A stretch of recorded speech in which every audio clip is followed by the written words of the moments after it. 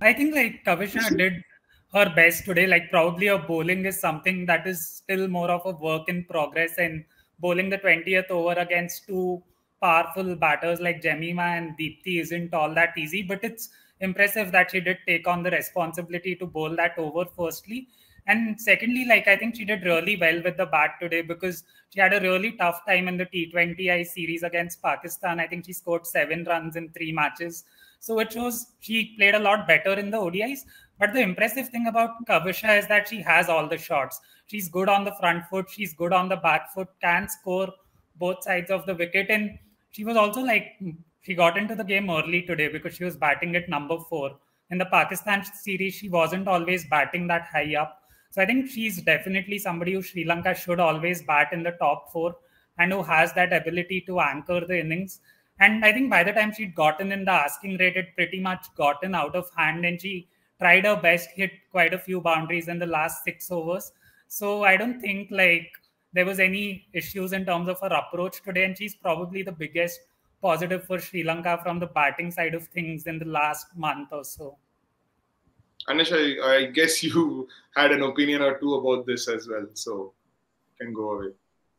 Sure. Uh, I mean, we've seen somebody like an Amelia Kerr rise the batting order in the New Zealand side. Something similar is happening here with uh, Kavisha Dilhari as well. And credit to her, she looks to have put in the hard yards uh, um, in the off season, has really worked on her batting because uh, when she got those few opportunities in the early part of her innings, she would impress, but right now she looks a more compact batter than she was maybe a year or so ago. She went through a bit of a, you know, an up and down phase bit of, because of a bit of uh, of a few injuries she faced, but uh, right now she looks a more confident batter.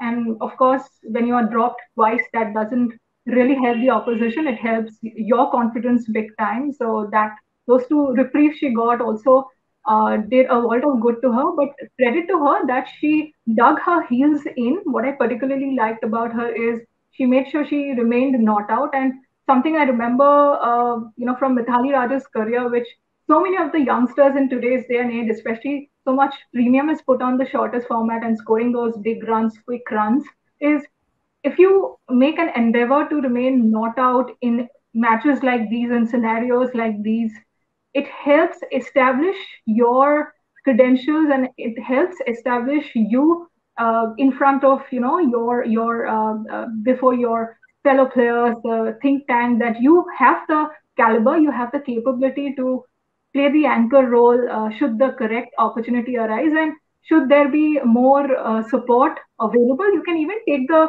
team over the line. So i liked that aspect uh, about Kavisha Dilhari's innings today really well that she decided to uh, play out the entire innings, ended uh, on 47 or 49 unbeaten. So uh, that was a really big positive to come out of that innings uh, from Kavisha Dilhari today.